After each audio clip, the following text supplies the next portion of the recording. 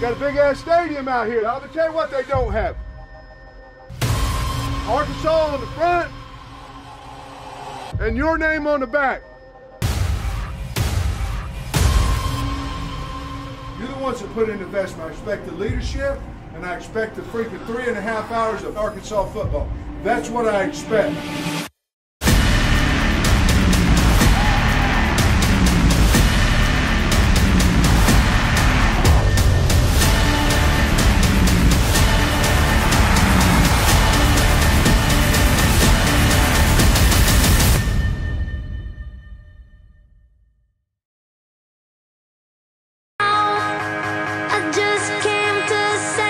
Yo. Bing, bing.